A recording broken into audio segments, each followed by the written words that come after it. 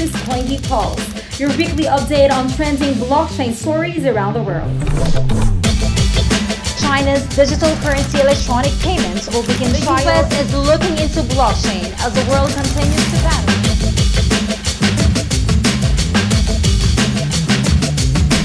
Facebook is rolling out a new way to earn money on the Bitcoin wallet, HandCash, and Money Button peer-to-peer Bitcoin transactions. This is whole new concept of music distribution.